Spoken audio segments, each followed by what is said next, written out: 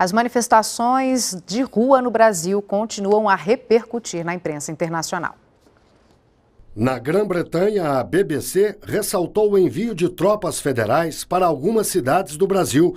Nos Estados Unidos, o New York Times afirmou que os líderes brasileiros enfrentam o maior desafio à sua autoridade em anos.